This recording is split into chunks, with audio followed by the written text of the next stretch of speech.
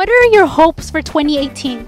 Well, I hope the world uh, is much better. I, I hope we don't have any, you know, war like they say they do. We don't need that. I hope the economy gets better, you know, and I just hope everybody is, uh, you know, is great, and I have everybody, including myself, you know, we're everything is it'll be good for us next year, you know.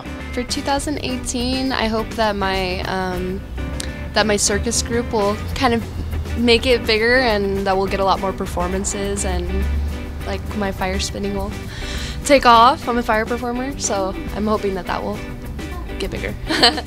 For myself, to continue in God's grace that He's given me so many good things. Like I always say, if God gives me much more good, I have to ask Him to take a break. But as I stand right now, just about three weeks ago, I got my first apartment I've had since 1994. I got from 1959, I got my first bachelor pad, only because I was married and all the others, but I got my first pad. It's pretty cool. I don't know. I'm just, it, you know, you see a lot of negativity whenever you're like, especially when you hang out down here downtown and you see, you know, uh, you know, you see homeless people and stuff like that walk by, and you, and there's a lot of people that just don't give a crap. You know what I mean? And so, just I think the world would be a whole lot nicer place if people just remembered to treat people like they'd like to be treated. So.